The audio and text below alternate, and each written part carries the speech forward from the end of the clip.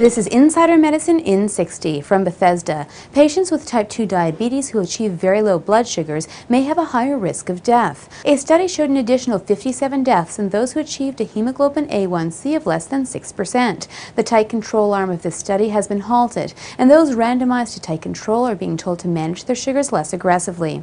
From Atlanta, the CDC has linked three cases of HIV/AIDS to the practice of feeding children pre-chewed foods. This practice is commonly performed in developing developing nations, as many do not have access to blenders or access to prepackaged baby foods. The three cases were traced to HIV-infected blood getting into the saliva of the caregivers and ultimately the babies, rather than direct saliva-to-saliva transmission. And finally from Cleveland, in a study of over 350 men, the longer men spent on their cell phones each day, the lower their sperm count, and the greater likelihood of having abnormal sperm. Those who spent more than four hours per day on their phones had the lowest counts. While the study doesn't necessarily necessarily imply that cell phones themselves cause poor sperm quality, the researchers next plan in vitro studies to evaluate the direct effects of electromagnetic radiation on sperm. For Insidermedicine in 60, I'm Dr. Susan Sharma.